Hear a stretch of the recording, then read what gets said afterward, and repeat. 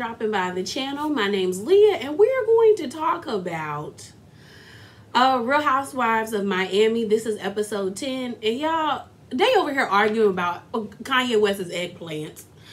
it's been too much of that going on. Too much of that going on. So let's okay, get it, y'all. So the episode opens up, and it's Larsa and Alexia. And um, Larsa's at Alexia's nail bar. I said nail bar, her nail bar, and they're getting mani pedis. And then they're just talking about the trip, how exhausted everyone is from what happened in the Hamptons. The topic of Nicole comes up, and Larsa was like, she don't even really have a problem with Nicole. And she said, even though I said the illegitimate son or the wedlock comment, I was just coming back at her because she came at me. And then um Alexia's whole thing is like she don't know what was up with Lisa and her attitude, but she need to fix it.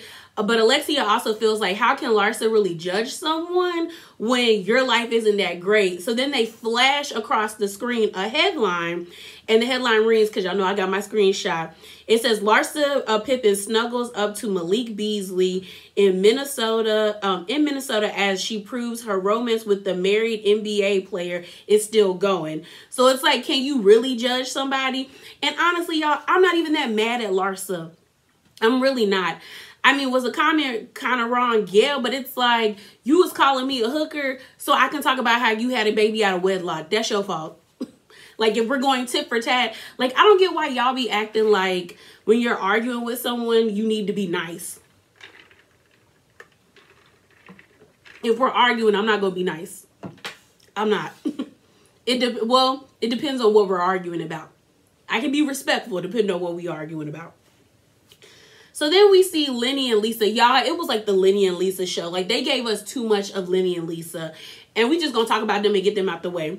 So um, Lisa pops up into Lenny's office. She's calling, well, she's meeting up with him because first of all she knows nosy like his phone was sitting on the on his desk and she want to go through it and i'm like sis if you don't trust him now then don't be with him. Like that's the one part I don't understand when people find out that their significant under uh significant others cheat. If you guys choose to stay together and work it out, then you also need to rebuild your trust in that person. But if you still feel like you can't trust them, then I wouldn't stick with you. Like I really wouldn't. Like I'd just be like, you know what? Eh, it ain't worth it. Um, but she's over there because her nanny quit. And my thing is like, Lisa, this sounds like a you problem because if a whole agency keeps sending you nannies and they keep quitting, you the problem. Like you the problem. but I was just like, Lisa, don't nobody really care. You ain't really got nothing going on. Don't nobody care. So then we see um later on in the episode, we see them having like a family dinner with her um with Lenny's parents and uh, with the kids and with her and Lenny. And it was nice. You know, I like I told y'all, I binge watched the first and second season and I slightly went through the third season, but you there was a lot of animosity and tension between Lenny's mom and Lisa's mom, mainly because they were like, Lisa was young, like Lisa said, they were young and they thought I was a gold digger. And they also didn't like the fact that she couldn't produce children or hadn't given Lenny kids when it's like, that's all you're, you're here and that's all you're good for. And she said their relationship didn't get better until she had kids.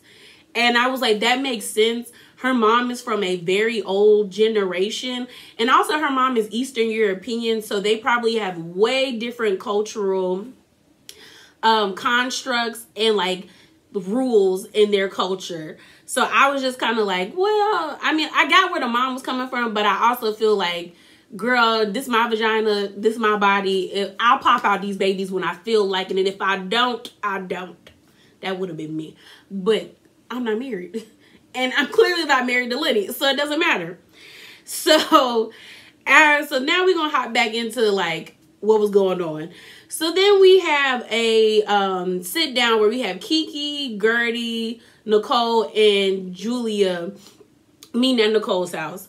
Y'all, there's something about Nicole that I just it feels disingenuous. I know a lot of people have been going up for Nicole, but there's really something about Nicole that feels disingenuous. And I had this feeling about the bird lady on Potomac, and my and it became true. So I'm gonna be cute with Nicole for right now until she do something. But I didn't like how she was retelling this story. How she said when she confronted Alexia, she was really nice, but when they did the flashback, you called, you told her she was a being a bitch. Like, and you were yelling at her. How in, in that way is that nice? And I mean, I know that might be Latin culture to yell at each other, but if we not friends, don't yell at me and don't like raise your voice at me, even though like if you're trying to talk to me or have a one on one with me. Like, cause I'm honestly, I'm gonna reciprocate the same energy. If you yelling, Leah gonna yell. so I was just kind of like, no. And then they bring up the like illegitimate um the out of wedlock comment and the illegitimate comment. And this is my thing. Like Julia being mad. Okay, Julia, did nobody tell you to have three kids with three different men? The first child, bless that little baby soul. Like bless that little baby soul. And I'm sorry that that happened to you because that is that was horrible when she told that story. But the other two, like, like I said on Twitter, you can't be ashamed of something if you're not ashamed of it. Like your contempt with Larsa is because you're ashamed of it you're ashamed you had three different kids by three different men. Like, and that's you. Like, that's your fault. Didn't nobody tell you to be out here having kids with three different people? like, it is what it is, ma'am. It is what it is. So I was like, Julia, miss me with this. This is just fake anger because I really feel like Julia ain't got nothing this season other than her and her awkward and weird relationship with Adriana. And then for Nicole to say it's beautiful, it's not beautiful. It's borderline disrespectful. Mind you, Kiki and Guerdy looked really pretty in this scene. They just always look good. You know, the Haitian women always look good. But it they're Adriana and and Julia Juliana whatever their relationship is disrespectful because if it was a male and a female I would be like, no, ma'am. No, ma'am. No, ma'am. And even if it was two men doing it, I would be like, no, ma'am. Because it's like one is married. Like that's my thing. They it's borderline being disrespectful. Now I understood when Julia was like, Adriana is a wonderful friend. She like you can call her anytime. And we have and I and I think that about their relationship is is nice. Having other people in your life besides your spouse that you can call and have deep conversations with and know that they're going to have your back, that's wonderful. But the way y'all parade and showcase your relationship is disrespectful. And like and like Rodney said, if Martina come around that corner with a racket and beat y'all down, you deserve it. You just you deserve it. So now to this conversation about Kanye West's penis. Y'all, it was stupid. It was so stupid. So it opens and we're at this really nice, I guess like um beachside or or oceanside um restaurant and it's Kiki, Adriana, and Larsa. And you know, Kiki Kiki is I'm as beautiful as Kiki is, I'm tired of her talking about she wants some penis. Like she wants some Zozo. Like it's kind of like, girl, if, like you're beautiful. You can get it if you really want it. So stop talking about it. Maybe you're trying to get quality and that's harder to find. Well, it's not. It, it really is. It really is hard to find. But sis, like stop it. Stop it. Like it's annoying that she keeps mentioning it. But they're sitting down and basically Larsa is like, and I, I they're sitting down there talking about it. And Larsa was like, you know, I don't want to be with a man that's not going to do things for me. So it seemed like Scotty did a whole lot for her. But in him doing all of that things for Larsa, he seems to be controlling. And that and that's the thing where I'm like, Larsa hasn't learned from that relationship, in my opinion. It's like you're trying to assert your independence, you're trying to gain your own um your own bag, your own wealth, or whatever, your own income. But yet, and still, you want this man to do everything for you. And it's like, there are men out there that will do everything for you and and still be like a decent human being but the vast majority of men and women or you know people in general who they feel like man if i do all of this stuff you if i'm taking care of the bills i pay the mortgage i pay this house I foot everything, there's a level of control that anybody would have or want to have over the person that they're doing it for. Because at the end of the day, you're basically being treated like a child. Like, and that's kind of what Lisa's in because it's like Lenny don't be paying Lisa no mind, and it's because Lenny knows that anytime he can go, Lisa can't. Same way with Larsa. Anytime Scotty wanted to go, he could because he controlled everything. And it's like Larsa still wants to be in that type of relationship. And I'm just kind of like, stop it. And then the weird thing is like when they ask Larsa, well, what, what kind of men do you like? She always keeps saying tall, dark, and handsome. Girl, just say black. Just say black. I would give you more respect if you would just say black. Because the little Malik, the Malik man, he black. Scotty black. And then you was messing around with Future and he black. Tr and you said you was messing with Tristan and Tristan is black. That's all your date is black. She was trying to nice it up. Tall, dark, and handsome. Black. Blackity black black. so Adriana gets there because this was a conversation between Kiki because Kiki had asked about like helping her like meet men and stuff like that. And they get on the discussion. I don't even know how they got on the discussion about like Kanye West. I really don't even know. But they get on the discussion about Kanye. And Larsa it gets visibly uncomfortable. And it was messy, but I was here for it. Like the questions that Adriana was asking are the questions that I want answers to. If you're going to be on these shows and this show in general, girl, answer these questions. So Adriana basically was like, what happened between you and Kim? What happened between you and Kanye? They flash over the screen another article and it says Larsa Pippen breaks um, silence on falling out with Kim Kardashian, blames Kanye West and Travis Scott. And we know Travis Scott is with Kylie. like Adriana says, she was like, we know what happened with Larsa is Larsa moved to LA with Scotty and her kids. She hooked up with Kim. And then once she hooked up with Kim, she started to morph into like a Kim.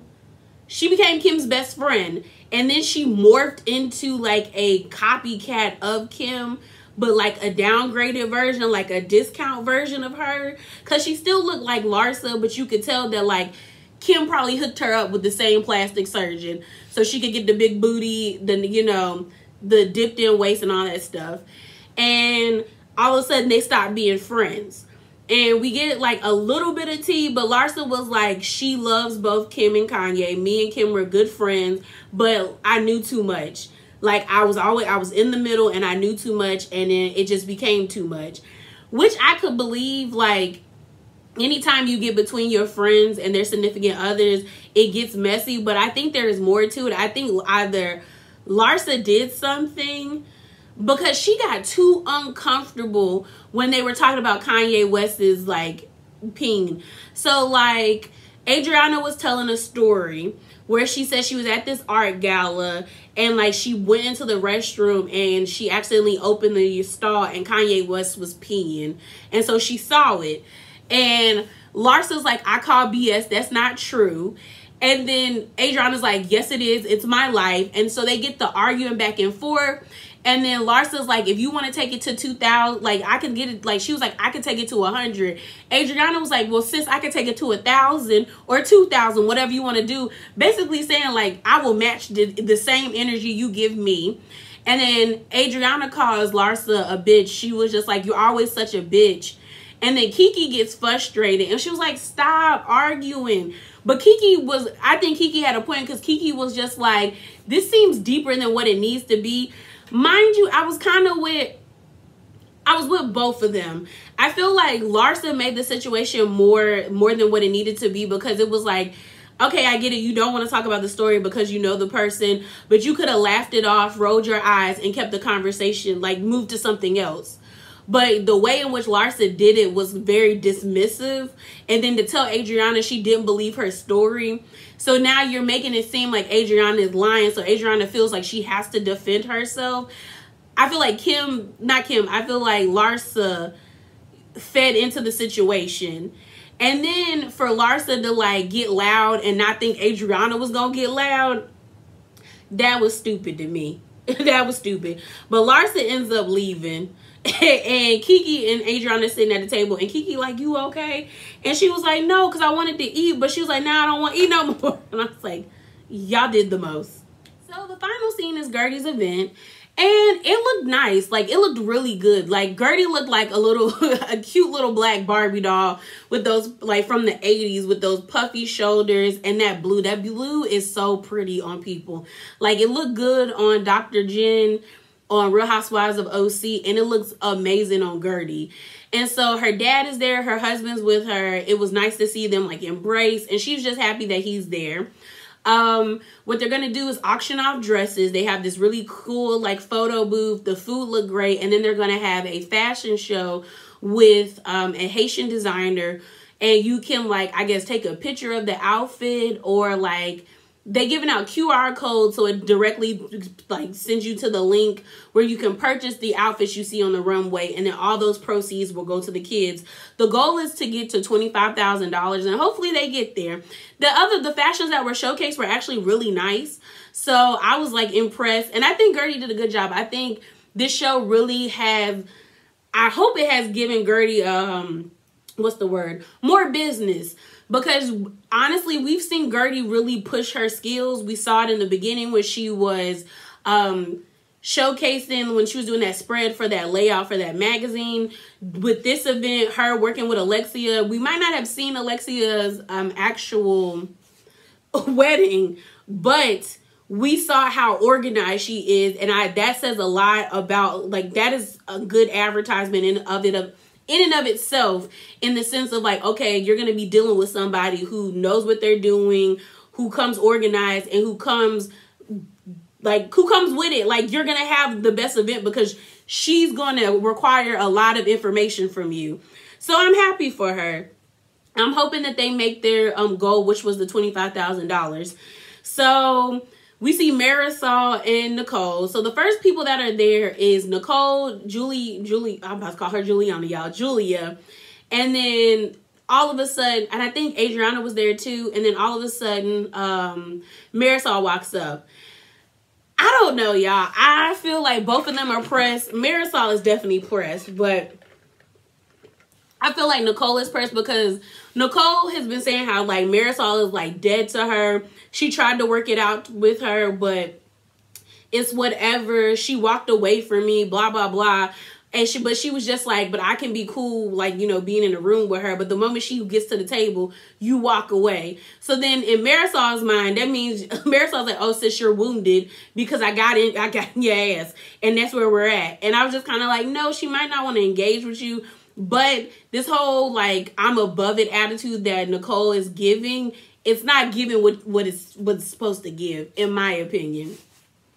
So everybody's there. Alexia comes with um Todd. So uh, but like yeah, everyone's there. You got Alexia, Julia, um, Nicole, who else? Kiki even shows up. Kiki's there. Like all the ladies are there except Larsa. But everyone gets to watch. Um, everyone's taking their pictures in the booth. Everyone's eating. They're all impressed with Guerdy's skills. And when they're um, doing the actual fashion show, everyone's there to see the fashion shows. And a lot of people were actually interested in the actual garments going down the runway. So I hope she does reach her goal. So then you got Adriana being a messy Bessie, walking around telling everybody, did you hear about what happened between me and Larsa? And so she tells Marysol, and Marysol was like, what were y'all arguing about? And she was like, um, about Kanye's you know what. And Marysol is like, for real? And then she talks to Alexia, and Alexia is the same way. She was like, why were y'all arguing about that? Like everyone thinks it's stupid. She even tells um what's her name Guerdy which I'm like, when did Adriana and Guerdy become friends? Like, did they make up and we just didn't get to see it? Like, it's weird because like because when they had that fight, it seems like they didn't want to be near one another, but like they're hugging on each other and things of that nature. So it's kind of off.